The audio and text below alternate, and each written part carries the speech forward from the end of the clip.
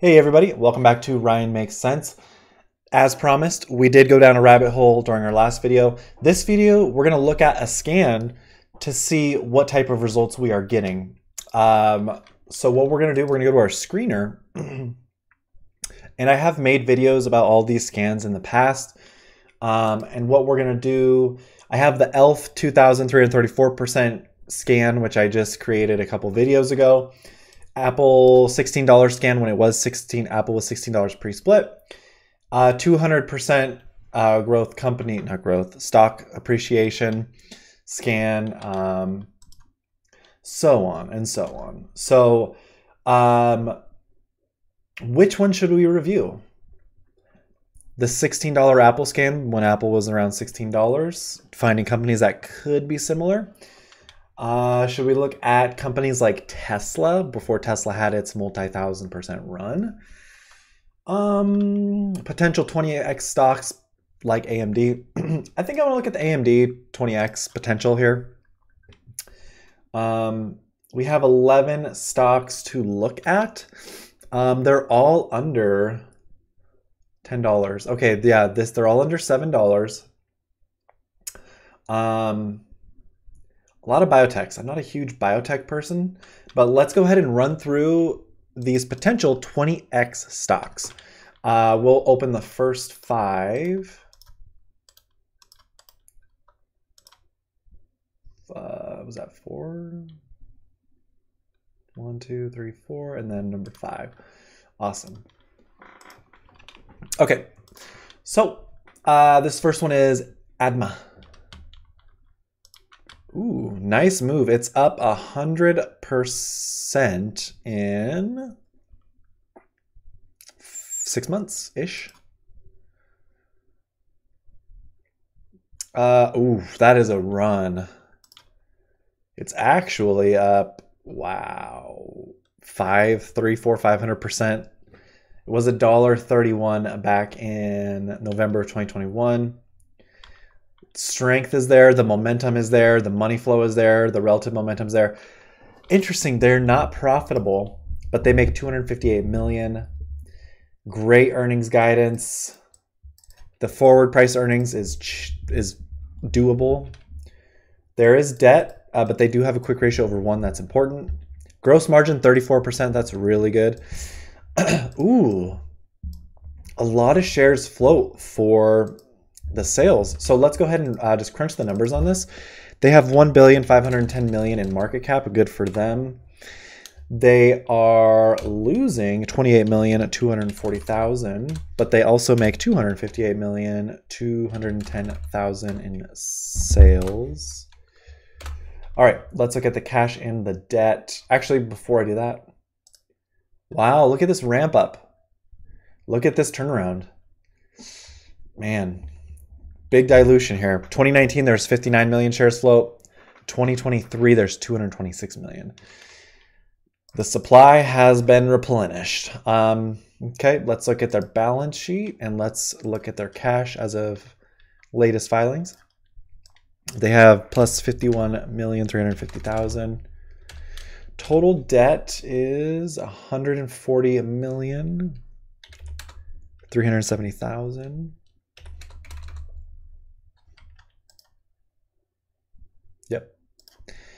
Uh, total assets 329 million. Total liabilities 193 million. So not quite a two to one. Um, that situation is getting better. That's good. Okay. All right, and we're going to take this divided by 219,710,000. $18 stock. Yeah, that's pretty big. $18 stock potentially. Has it ever been to $18? Does not look like it. What is big money doing with this one? ADMA.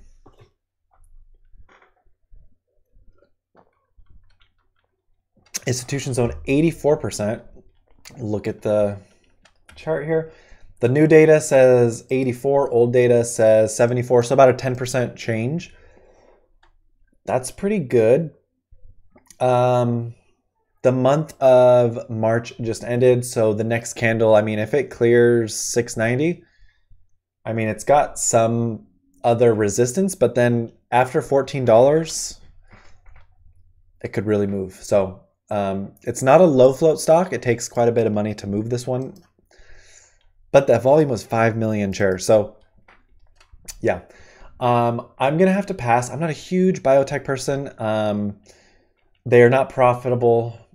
Um, the dilution is just kind of crazy here.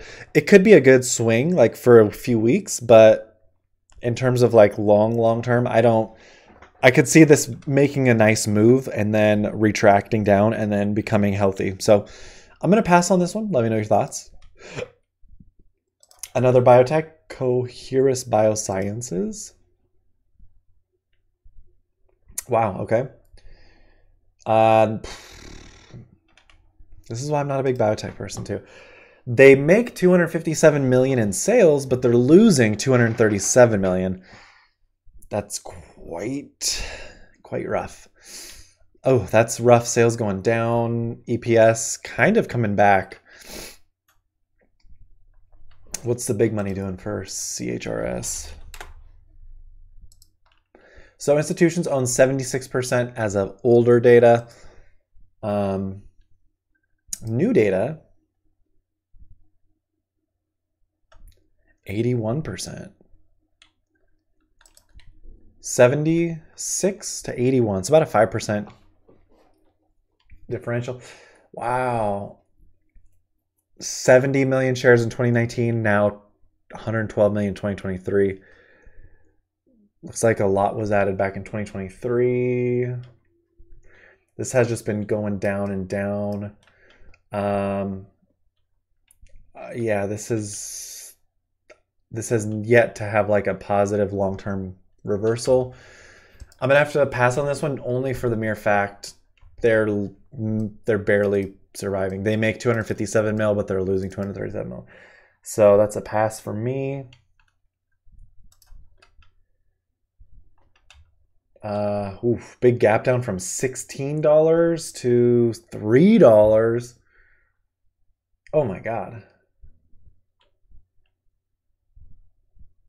Oh my gosh. 83.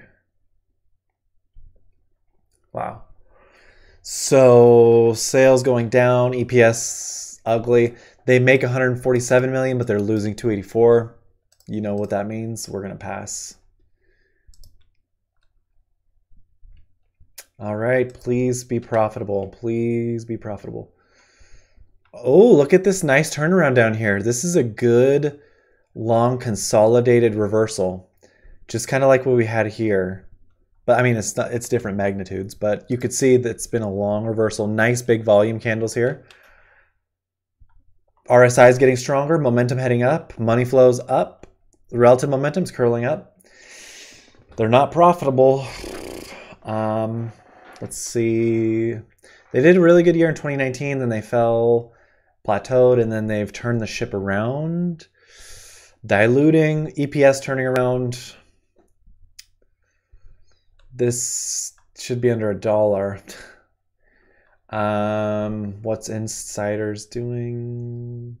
The director bought three million dollars worth at a dollar thirty-seven.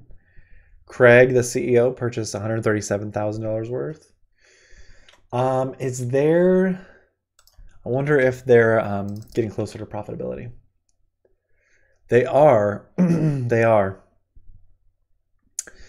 So in 2022, they were at negative 19 mil. 2020, end of 2023, negative 10 mil. End of 2024, I'm gonna guess negative one mil. They're lose. They're taking 9 million chunks. So I think at the end of 2024, this could look really good. But this has already started to reverse. So I think we might peak in 2024. Uh, what are institutions doing? Maybe that'll help make this easier, HRTX. Uh, institutions own 71% as of now.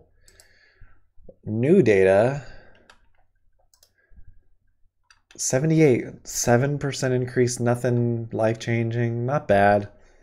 I'm guessing Vanguard, BlackRock, Baker Bros reduced, Deep Track sold out, Great Point sold out, Vanguard increased, Franklin decreased, JP Morgan decreased significantly, BlackRock decreased, Rubric management increased. So little mix there. Um, oh, this is rough. They make 127 mil, they lose 110 mil. So that brings them to positive 17 mil. And if we look at cash, 97 mil minus 100. Yeah, so this one doesn't even make sense to even think about owning. Although momentum suggests this could be good. So let me know if you uh, like this one. Please be profitable. No. Oh, God. They make $1 million, but they lose $175 million. That is just ugly. It's a momentum. I mean, nice little cup and handle. It's it's momentum. You really can't stop it. That's why you could have the best the best chart in the world, but if it's momentum going down, you can't fight it. You could have the best numbers in the world, and the stock would still go down. We've seen a few in my past few videos where these numbers are really good, but the momentum's bringing it down. Uh, one in particular was INMD. Uh, so we're gonna have to pass just off the mere principle. You can't. Nobody can survive making a one million dollars a year losing 175. So passing on LXRX, we've got those biotechs out of the way. Now we're moving on to the next five.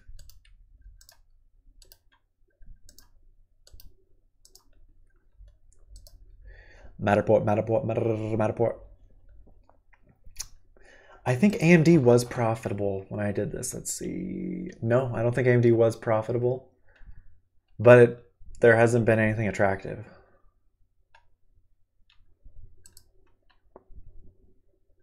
Okay. Wow, huge move up. This is great. This is great. This is horrible. This is okay. But again, they make 157 million and they lose 199 million. And they have a crap ton of shares float. Oh my god.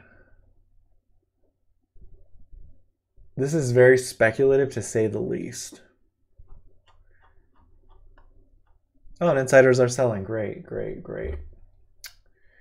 Perfect. Exactly what you want to see on a speculative play. Um, I mean, it's trading like the company's never going to exist again, which is. I don't think that's the case.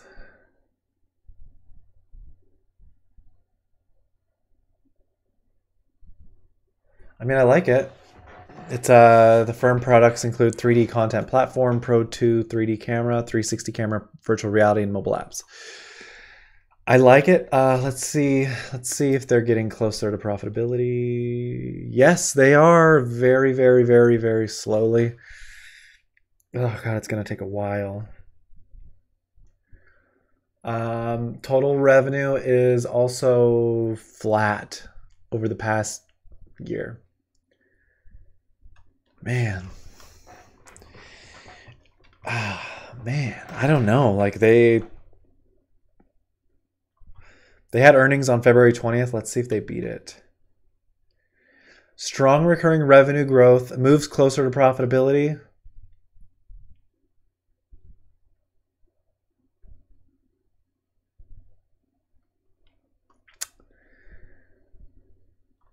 Uh, man, I don't know if this one's the business yet. I mean, just off the sheer principle, you're losing more than you're making. So we'll pass, although I do like this company five plus years down the road. Maybe. Payo software infrastructure. What's it all about? Ooh, look at this beautiful candle right here. So we've had higher lows. This low was lower than this one, and this low was lower than that one and that one. So higher lows, and then the highs are also lower, so it's uh, kind of coming to like a breaking point. Uh, okay, these guys are profitable. They just looks That's this is great. Okay. This is a four dollar stock. Okay, okay, okay. What kind of software do they do? Uh, fintech company, financial platform. Okay, we are gonna. We found one. We found one. We found one. Okay, let's uh, let's run the numbers on this. They have a one billion seven hundred ninety million market cap. Good for them. Plus, they make ninety three million three hundred thirty thousand in income. That's beautiful. Plus, they make eight hundred thirty-one million one hundred thousand in sales. That's absurd. They're to make a billion dollars soon. Very low debt, and they're paying it off. Very good. Very good. Very good. Oh yeah, very nice. Gross profits, nice. This looks good. Cash, wow, that's a lot of cash. Plus 624 million, 50,000. Total long-term debt is only 36 million. 250,000. Wow. Okay, total assets is 7.2 billion, total liabilities 6.6 billion. That's cutting it really close for me. Big liabilities. These other current liabilities, this is where you got to go and read the 10K and see what the heck is going on. Look, it's just piling up. So that's something to keep your eye on if you are interested in this one. Um, going back up here, taking this divided by 259 million, 870,000. $12 stock trading at 486. Analysts have this at 672. Uh, Goldman has this at 1250. Is that right where mine is? Mine's 1270. Cantor Fitzgerald 13. So pretty dang close. Uh, what are institutions doing for payo? Payo for payo. Uh, institutions on 64%, and that is the old data.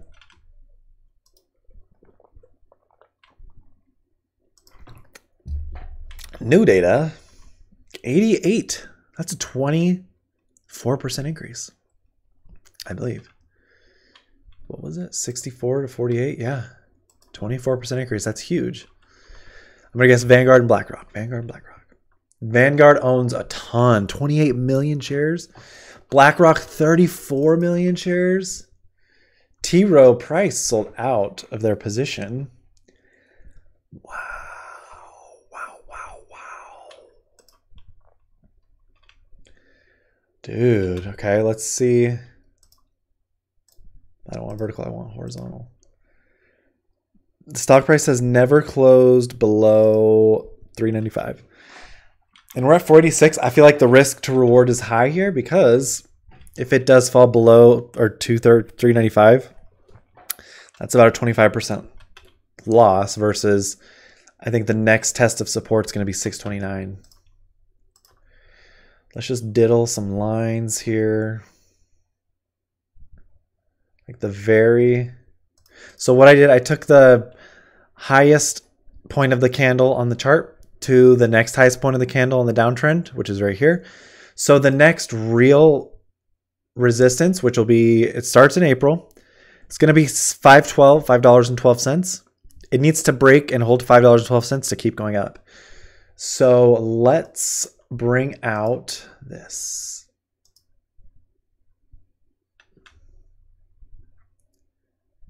That was the lowest of the low.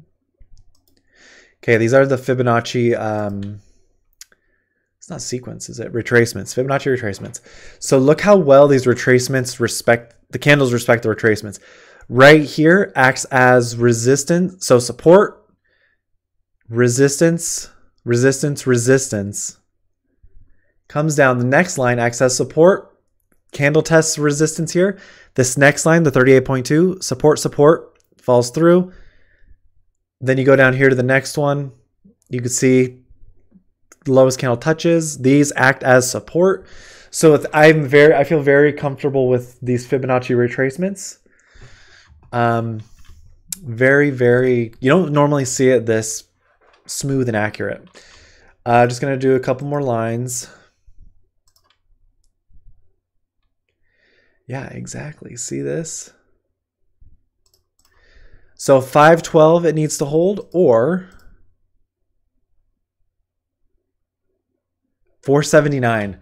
So that is what I call the apex. This is a perfect example of the apex where it's got to make a decision up or down. So 512 is going to be the first resistance and then $6.02. I like this one. They are profitable. I just want to check their profitability pattern real quick. So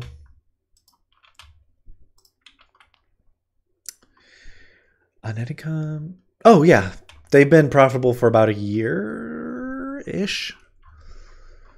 Okay, institutions added 22%, 24% extra on top. So I feel comfortable dollar cost averaging into this one. If I have $100, I would probably add $10 a week for the next 10 weeks. Just so 10% incremental purchase to get the best price. So I do like this one. Um, I'm going to note it down. This is a good one. Uh, does it have the potential to get AMD size? That's to be determined, honestly. AMD was $2 at one point. Uh, Payo, I don't know who their customers are. Let's see.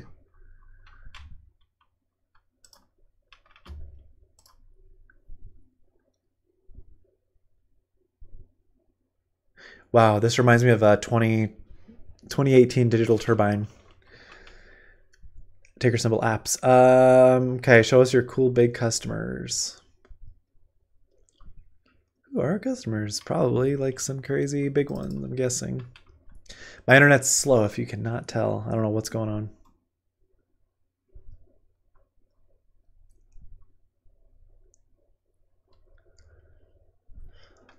Um, I guess their customers are just going to have to be to be determined. I want to see their customers, but at the same time, it's really eating into this video. Uh, we'll let it we'll let it load actually. Let's just let it load in the background. Payo, that's the best one we've seen so far. The RealReal. This could be a big one. Oh my god, it's moved so much. It didn't wait for me. Oh my lord, did it get bought out? No. Uh, this is decent. This is good turning around. Ooh, huge. They make 500 million, but they're losing 168 million. Let's see. They're not profitable. Let's see if they're getting better. Uh, they're going the wrong. I mean, they. Yes, no, maybe so. Um, I think there's time to wait on this one, but I think this company could be really big in the future. Um, still no customers. Huge move. Yeah. This will be a good, fun one to trade, but I don't. I mean, it's up over 100 plus percent in a couple months. So we're going to pass, but when would I want to buy this one? I mean, it's really ripping hot right now. So that's tough. What are their sales? Ah, yeah.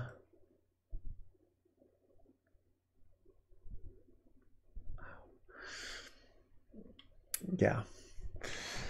This one's tough. Share, they're diluting it's a little bit, but yeah. This is tough. We'll pass, but I suggest you run do the calculation that I do, see what number you come up with. This will bring you around 300. Let's see what their assets and liabilities are and the debt. Um, okay, total assets 446 million. Total liabilities 750 million. Oh my gosh, you know what that means? I'm not going to say it. But do you know what happens when liabilities exceed assets?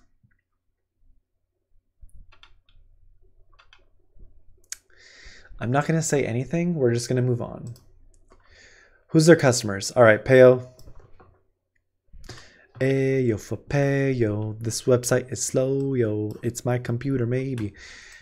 Okay, uh, Real, you're gone. Payo, let's see.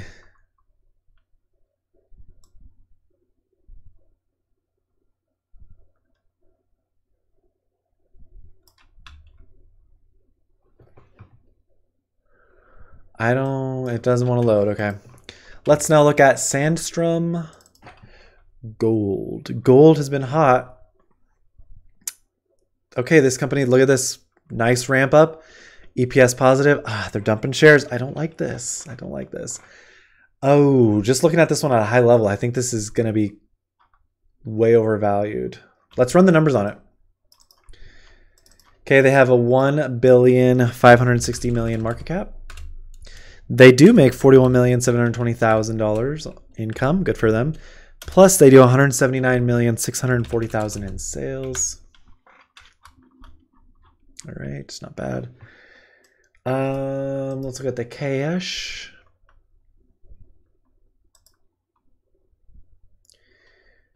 All right. Plus, oh, we want the quarterly. So plus 33,400,000 minus the debt, which is 452 million. That's a lot. 452 million, 250,000. Okay. Um, total assets 1.9 billion. Total liabilities 477. That's almost a four to one assets to liabilities ratio. That's beautiful. Uh, total debt. It's getting better, honestly. From the end of 2022, they went from 526, 499, 476, 468, 457, 452. So slowly paying off the debt, it looks like. Uh, we're going to take this and divide it by 246,250,000. $5.53 stock trading at $5.25. Yeah, that's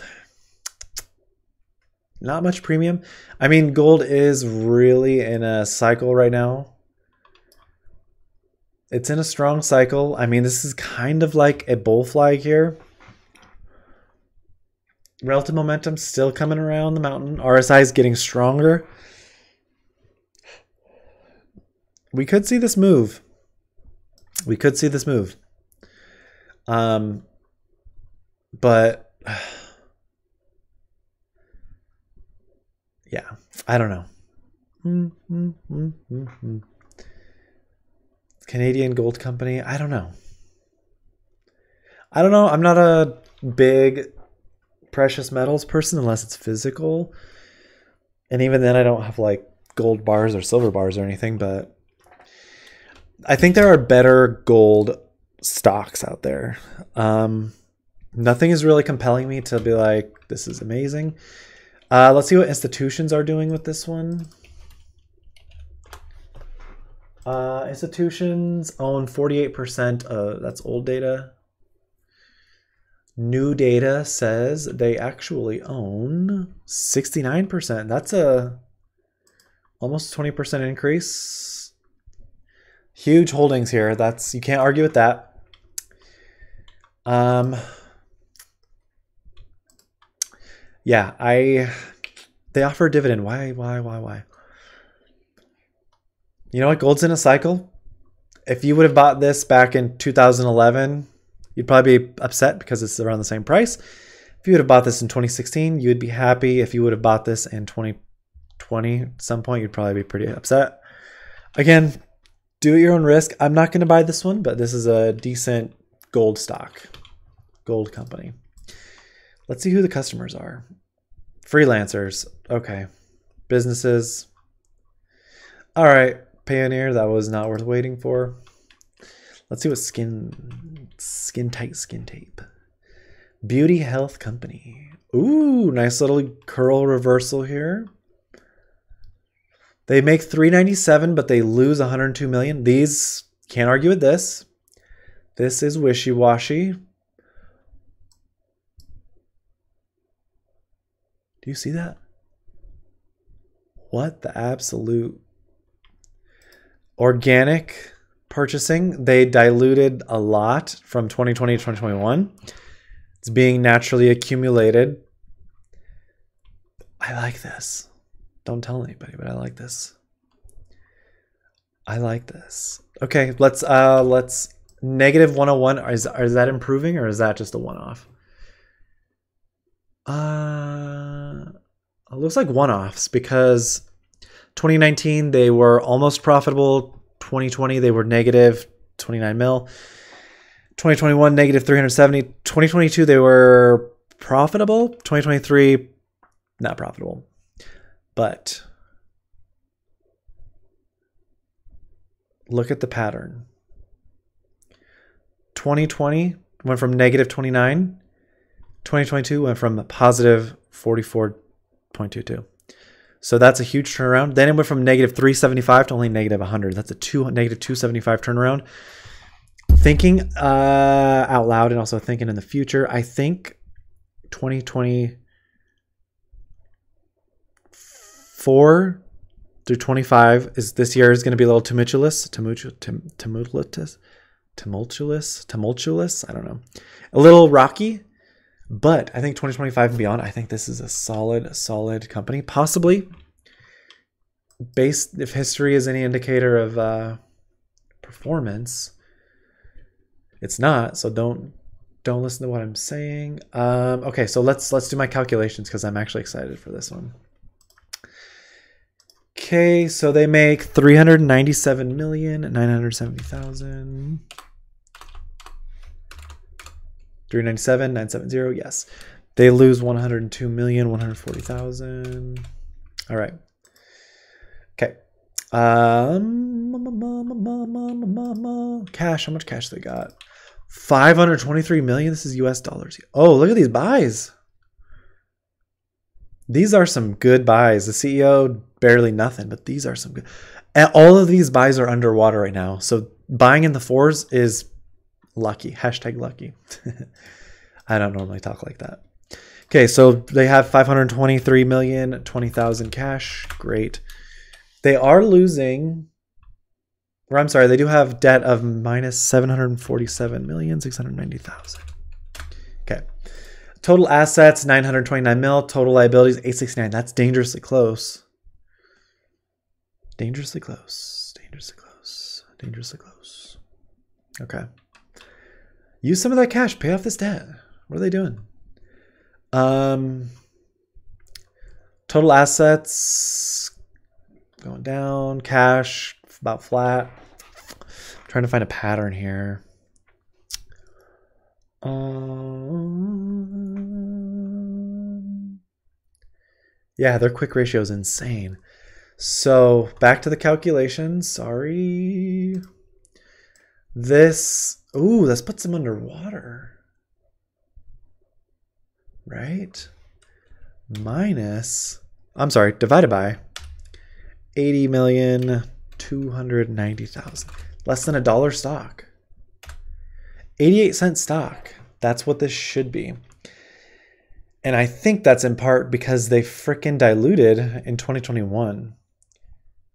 Man, if I take the 71,160,000 divided by the 335,500,000, we're looking at $2 stock. So not bad, possibly could go lower. Um, but this looks like a nice bottoming area. Let's see what institutions are doing. Let's see what they're doing. Uh, institutions own 69% Giggity. Uh, new data shows 83%, 14% increase. Not bad. You can see that little divot there. Let's see. Uh, BlackRock decreased. FMR increased. Senvest sold out. Janus decreased, Luxor increased, LCP Edge, no change. Okay. Okay, interesting. Um, these sales, this ramp speaks for itself. They had earnings on March 12th. Let's see what they did. Uh, mix 2023 amidst global expansion. Okay. I'm fine with that because they have 520 mil in cash. I can see why now they're not paying down the debt aggressively because they're expanding. I like that. That makes sense. That adds the potential for more revenue. It does add on the debt, but I think it puts them in a better position long term.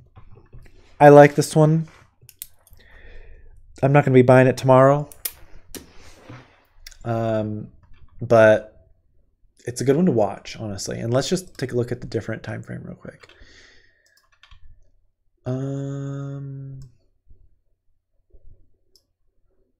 so really,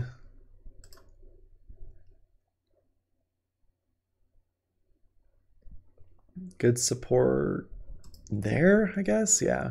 This really confirms, this candle confirms, it just tests it and falls down. Okay, um, and then taking the highest candle. Okay, so it, it, it is on its way for a, a move, it looks like, honestly.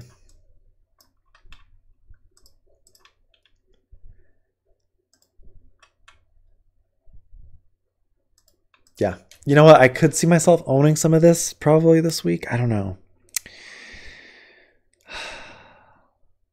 Just for a temporary swing. I'll watch this one. I might get into this one.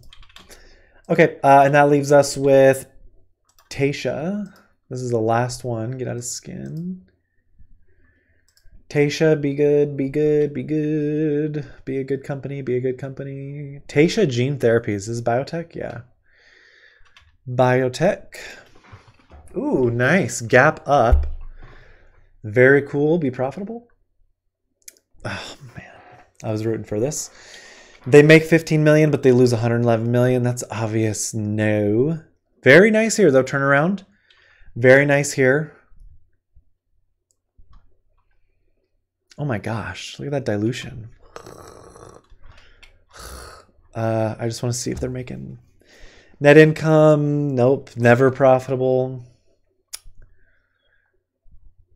They have $15 million this year. I don't know if that's from a donation, but doesn't look doesn't look too good. We're gonna pass on Taysha. Let's just look at the bigger picture to see if it's fallen from like 100.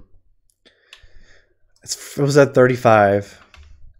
Damn, went from all the way to 65 cents. Then it jumped to 325. Crazy. Okay. Uh, that wraps up this video. If you guys like this content, please consider subscribing. Hit the like button. Leave me a comment. Let me know what you think. Let me know if you have any questions or stocks you want me to look into. Have a great week.